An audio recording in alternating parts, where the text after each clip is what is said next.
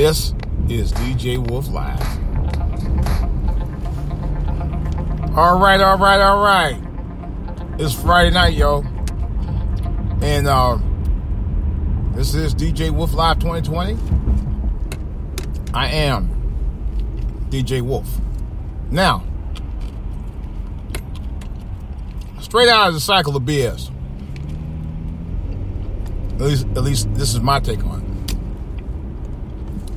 Recently, out here in the DMV in Maryland, uh, there is uh, something that got voted in where they're going to raise the minimum wage up to about $15 an hour.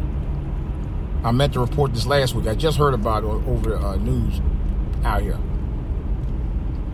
And you know, across the country, uh, even New York, they've actually uh, either worked on or passed through legislation to raise the minimum wage. Um, I forgot how much it is in New York, but I know out in Maryland, they're, they, they are uh, about to uh, take an effect in a couple of years. A fifteen dollar an hour uh, minimum wage that will take an effect. I, I think two thousand two or two thousand three something. I mean, two thousand twenty three.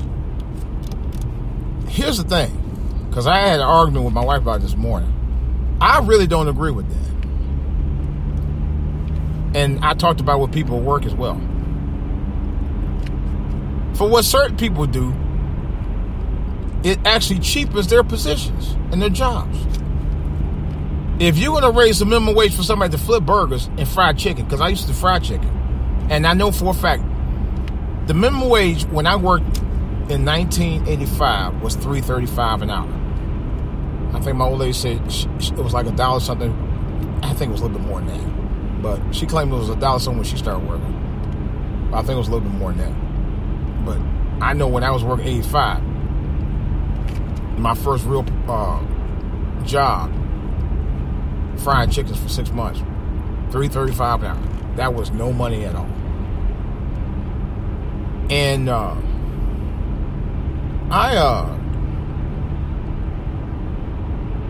had to work. I worked my ass off. And when I got tired of, uh, well, it was an incident that happened where a couple of guys got what wasn't satisfied with the food or the service. I wasn't I mind you, I wasn't on shift, so I didn't cook the bad chicken that they had or whatever they had that was bad during that shift. But they came up there and I heard uh, a girl told me uh female what girl told me she said uh, a guy threatened to come up there and shoot the store. He shot he, he actually put a, a two bullet holes in the store at the time. And uh I just parked I just pulled up, and uh, the girl told me that we hid in the bathrooms. Um, I, I, I was going hide in the freezer. I heard somebody, one of our uh, one of the other employees did hide in the freezer. I didn't. I in the bathroom. Matter of fact, it was the first door on the right when you walk in the Church's. And here's the bad part: you couldn't lock the door to go to the bathrooms from the inside.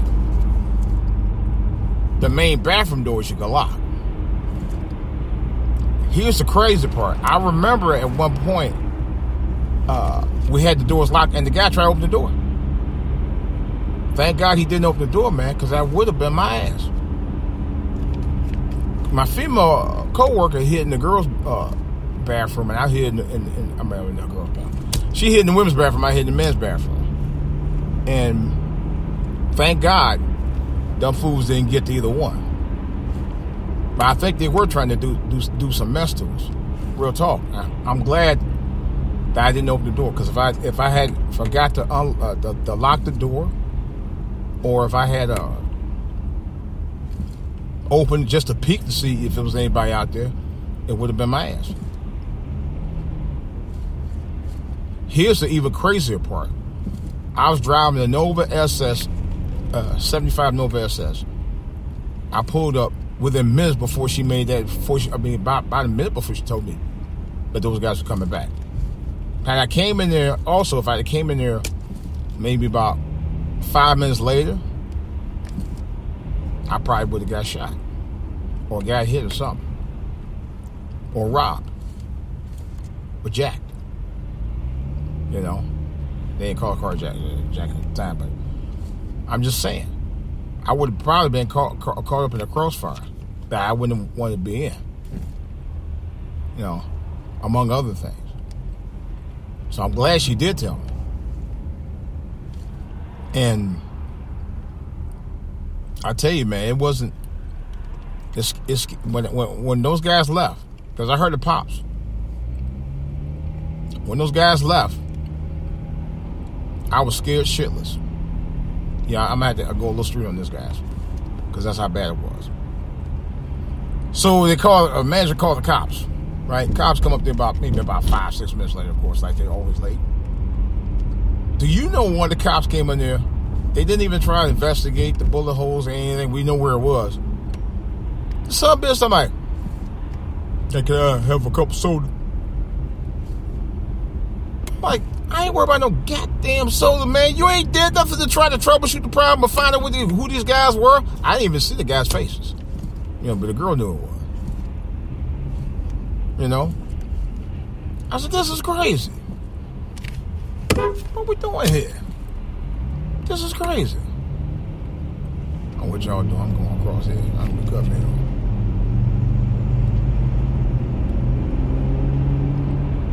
But you know, I was just like, what the heck is going on here?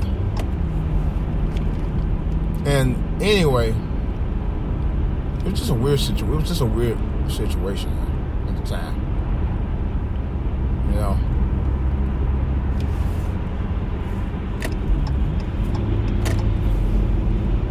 But I was glad that, you know, everything turned out okay. And after that, not long after that, I quit the job. It wasn't me, it wasn't not, it wasn't just about the money. It was the principle there was no security there. You know, the cops didn't take anybody seriously when we when we made the report. Not much ever happened at that. And here's the even worse part about it.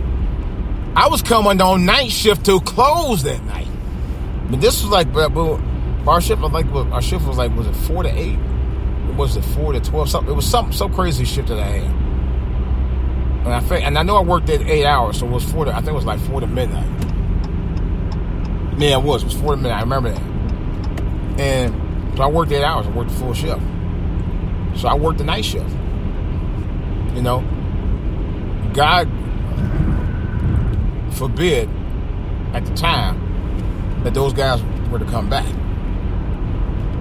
So, you know, me being on shift and the store had to be open because nothing happened to anybody. Was no major damage. There's two bullet holes on, on the top of the, uh, at the top of the, uh, you know, uh, the wall. You know, a little bit of a scare. They didn't even buy close the store. You know, I thought that was kind of odd. You know, company didn't, you know, ensure that we was safe and didn't bother close store for the night. You know, the store didn't get they didn't get robbed. See, the store got robbed might have been story. You know, they didn't care. Didn't even care.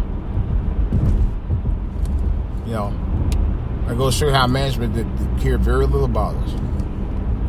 And I was scared shitless that night because I had to, like I said again, I had to work that shift because I had just came on shift just a couple minutes before that all that mess went down. You know, hiding in the bathroom, not knowing what these guys look like, and for all I know, they could have been hiding hiding out there before I came in, and they could they could have found out what I was looking like. They probably knew who I, I looked like at the time because they might have been hiding, waiting on somebody to go in there for the shift. Who knows? But the, the weird part about it was even weird at the time. They didn't bother my car. My car was unscathed the entire time. That was crazy in itself. But still, they knew somebody with the car had like that worked up there. Because matter of fact, there's the other crazy crazy part about it was it was a middle of the afternoon and there were no customers. And this was on a Saturday. So that was even more scary.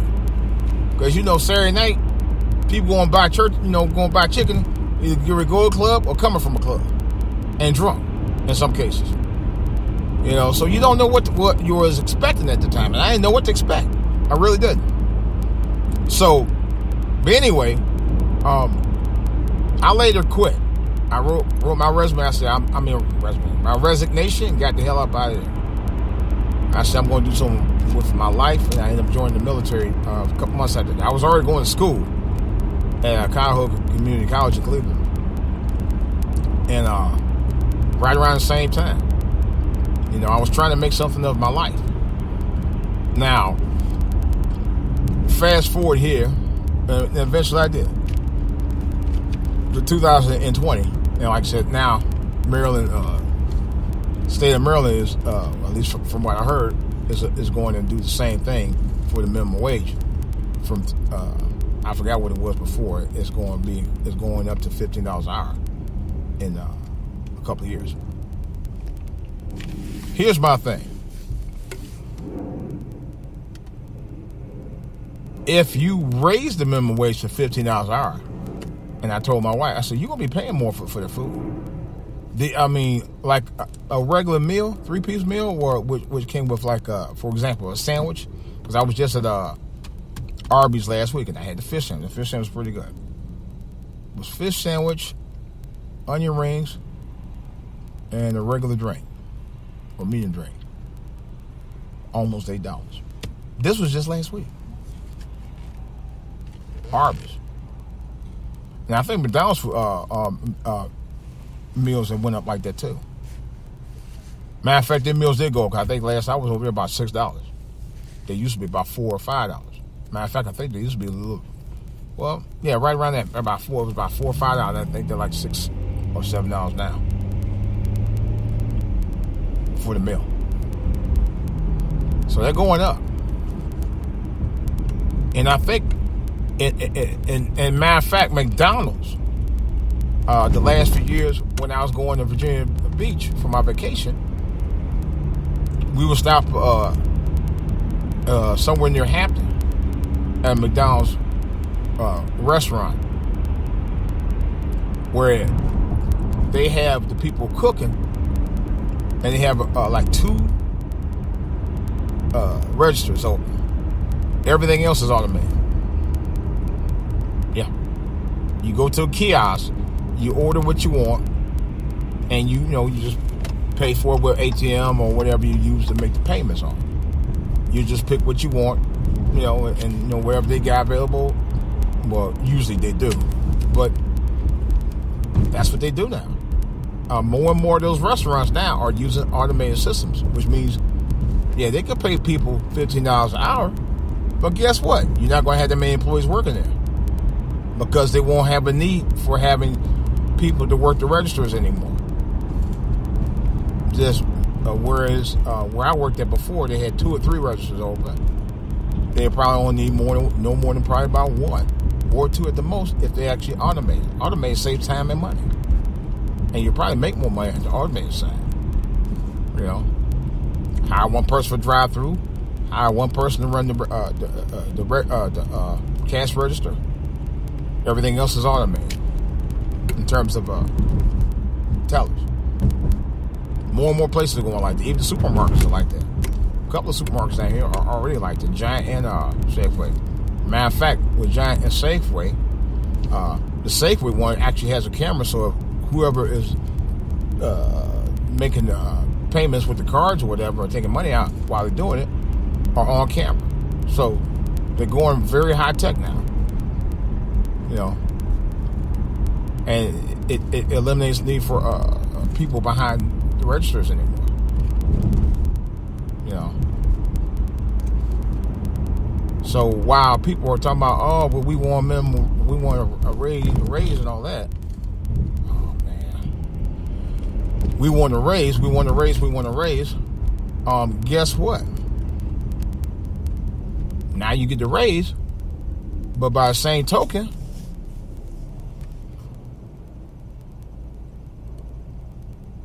By you getting a raise, guess what? Less people to work there.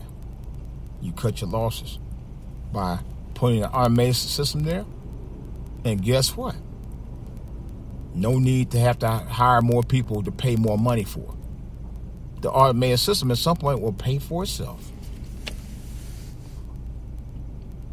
There it is.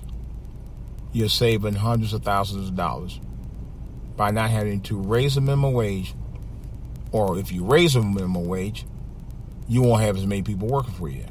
That's what's going to happen. Bet that's what'll happen. And likely you won't be if you do get paid that minimum wage of fifteen dollars an hour. Guess what? They uh, in, in, a lot of cases they may not be full time anymore. They'll be part time, and you'll still lose out because what's going to happen if you you'll be making about the same amount amount of money you're working working if you're working. Uh, uh, and you'll be making the same amount of money, fifteen dollars an hour part time as you would if you're working full time. In other words, if you work, uh, they, uh, if you work eight hour shift working maybe about six seven dollars an hour, right, and you work the full time. If you work part time, four hours, is going to be come up to the same thing. That's what's going to happen. A lot of people ain't going to be working. They ain't be getting them, them really good uh, uh, number of hours like they did before. They're going to cut back on hours but you'll still get paid fifty dollars an hour. See, people ain't thinking. The fast food companies, uh, they're gonna circumvent that. They're gonna get around that. You ain't gonna be making. I mean, you you'll probably make that, but you won't be making that doing it full time. I can bet you anything you won't, unless you're a manager or something. Unless you're a, a, higher up, that's not guaranteed for everybody to make that money. And if it is guaranteed, you won't be getting it full time. What are people doing out here? Just saying. Oh God, I hate when they do this. I'm trying to tear my shit stuff off of the Not gonna do it. You know, that's just the bottom line. Bottom line. You know. People got used to use common sense when they drive down here. Man, I'm gonna come. I'm talking to you while I'm driving. People got got use common sense when it comes to these jobs, man. Especially when it comes to something like this. You know, like I said before, you may not be as fortunate to do that. Keep it moving, buddy. Can't stop. I can't stop. I'm not gonna stop. Too much traffic out here. like these uh people thinking they're gonna you know make fifteen dollars an hour, but here's the thing: uh, the quality may or may not be any better, and I doubt that. Okay, if I pay you fifteen dollars an hour to flip my burger, it better be the best damn burger I've ever tasted. You think they're going to change with the formulas? No. No. Mm-mm. Not everybody's going to benefit from that. And that's what I was trying to tell my wife. Not everybody going to benefit from the $15 an hour. There's, there's nothing guaranteed about that at all. Nothing. Not a damn thing. Most people will not benefit from the $15 an hour. They just won't. You will not benefit from it. You will not benefit from the $50, dollars an hour. I can promise you that.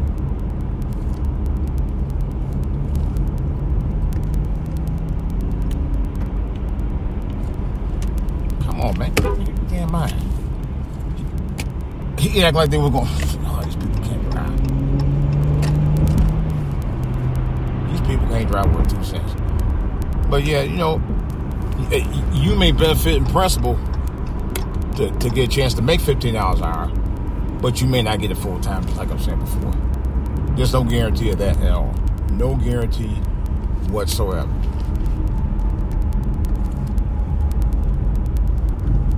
There is none.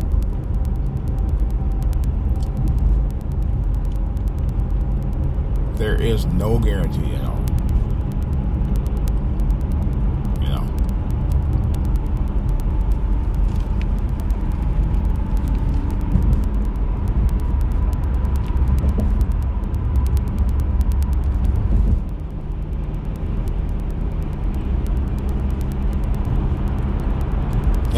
It's a trip. You know, when people you know think, oh, I need a livable wage.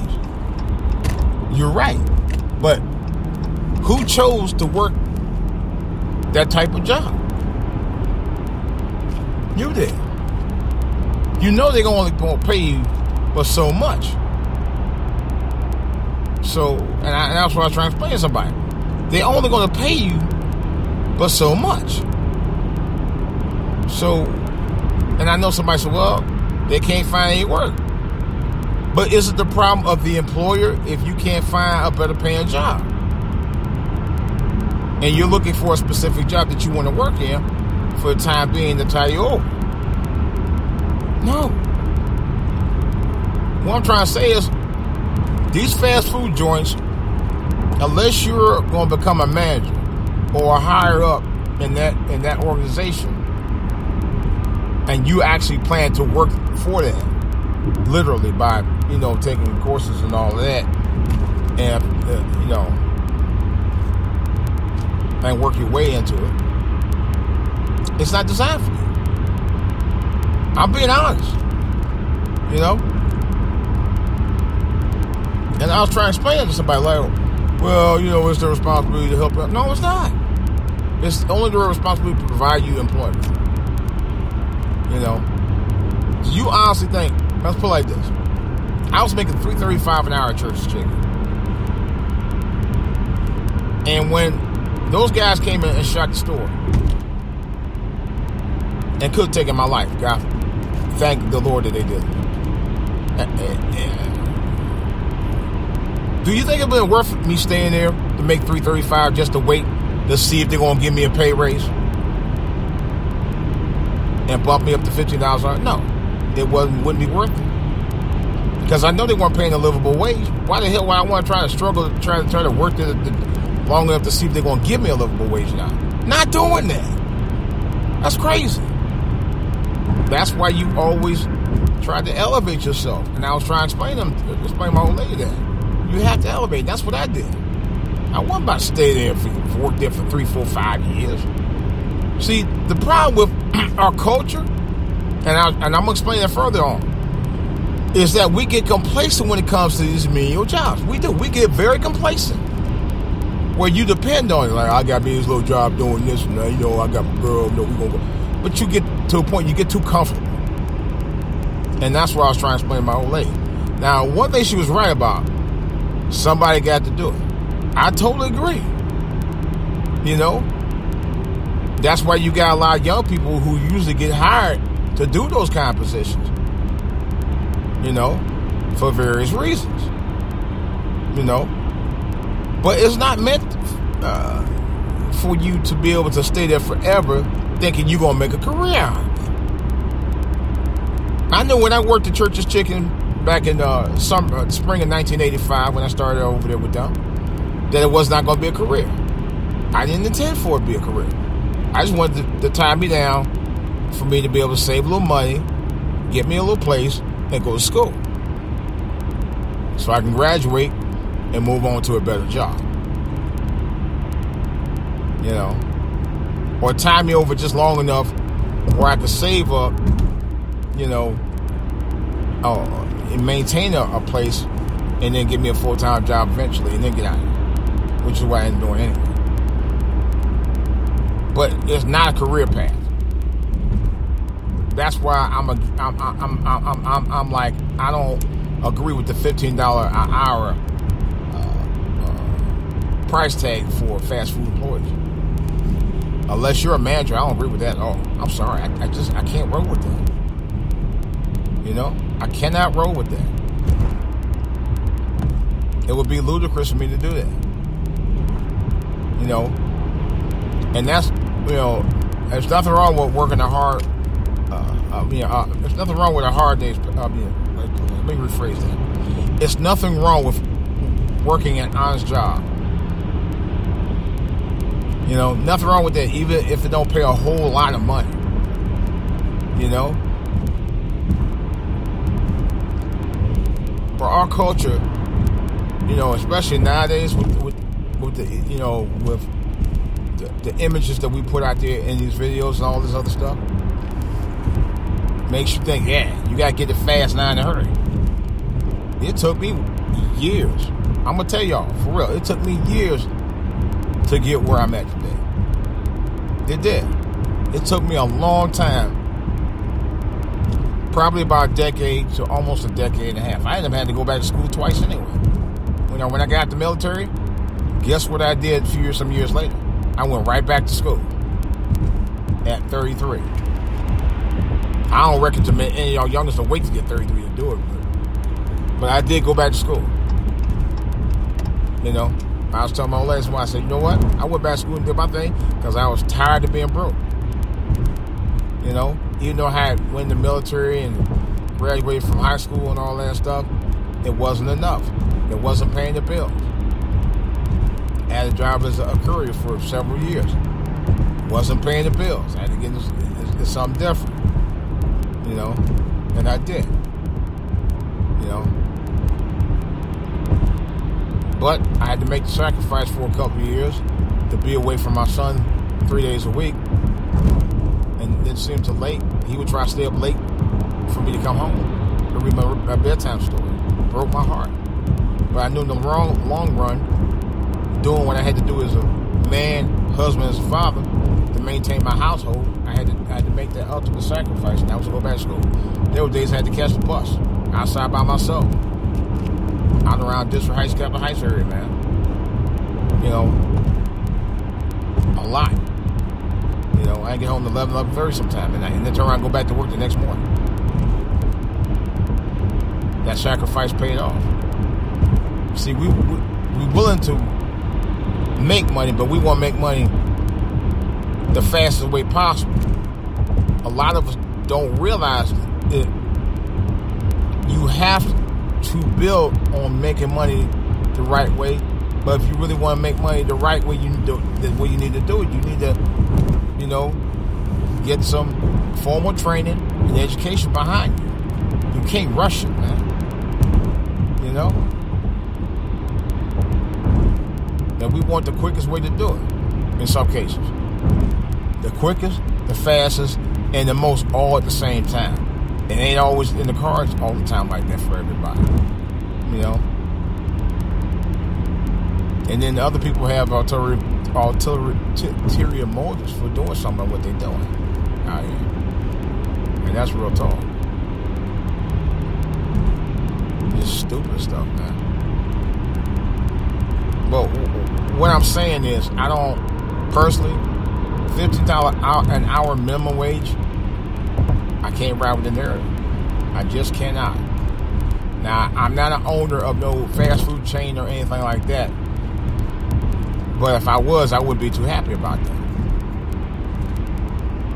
You know, I get an automation, automation machines put in there, and it'll save me hundreds upon thousands of dollars from having to hire several people to work the register when I can get the machines that. If I have a malfunctional machine, I have these two people to work the cash register. And where I worry about all the other mess.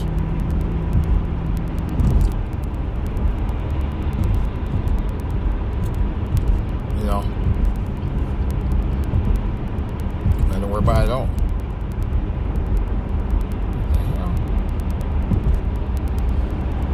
But it, it, it, to me it's just I don't know. I just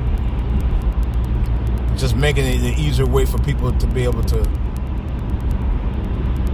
earn money with little or no skill. You know? And I'm talking about younger people. I said, nah. And to have family, and, and, and, be trying to raise families, and then you'd be like, oh, that's not enough.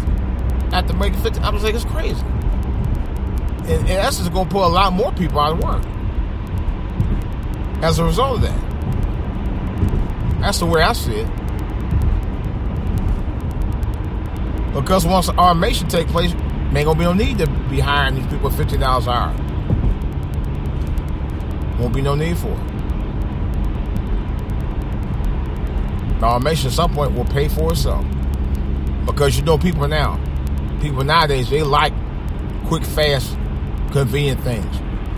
Uh, like when I go to Giant or or, or uh, Safeway out here in the DMV, they have uh, automated machines now where you can, you know, scan your groceries and other uh, groceries that you have, like fruits, vegetables, stuff like that. weigh it in, do all that by yourself. You know, you just put your code in, your phone number, do all that, scan it, you'll be out there in less than five minutes, depends on how many groceries you got by. You know, pay for it yourself, what they call self service. See, a lot of places are going that route. And McDonald's, I know, was the first one to do it. I don't know about Wendy's yet. I haven't been in Wendy's in decades. At least I haven't been, I haven't been in, in on the inside of a Wendy's in a long time. So I don't really know about Wendy's or Burger King. Now I'm sure they'll be, if they haven't already copied the, the thing that McDonald's is doing, they're sure to follow. And so are more, more other uh, restaurants of that ilk. Because I know they're going to, some point, they're going to fight that. The supermarkets are, are, have already done that. And I noticed I was just in one, uh, I think yesterday, day before. You don't see a lot, a lot of uh, tellers out there anymore. Not a whole lot. They don't use that many tellers anymore. Look at Walmart. Walmart got about eight or ten machines out there, self-service. They got one person running all those self-service machines and checking them out and verifying that you're paying what you need to pay for and blah blah, you know, all that other stuff. That's it. So you go ahead and have that fifteen dollar wage hike if you want to. It's not guaranteed you're gonna get a job doing it because automation coming through. They ain't gonna have a need for you. See, as wages increases like that, these companies, oh, you gonna stop or what?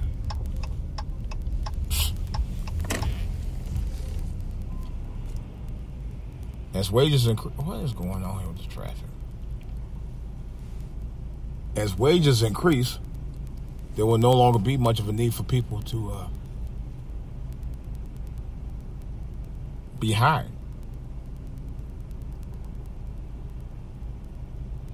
For all of that extra money or extra uh, for an increase that people are asking about, there will no longer be a need for it. Oh, it's traffic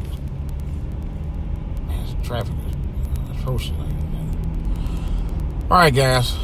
I may do a part two. Right now, I don't feel there's a real need to at this point because I, if you have a comment about that or question, of course, you can feel free to reach me right here on YouTube for all to hear TV. That's for all to hear TV.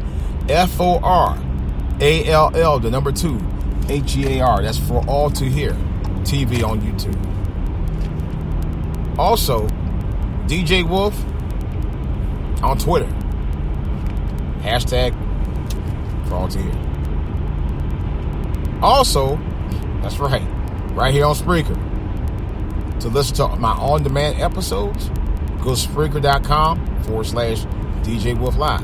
And if I, am on live uh, in the chat room, hit me up.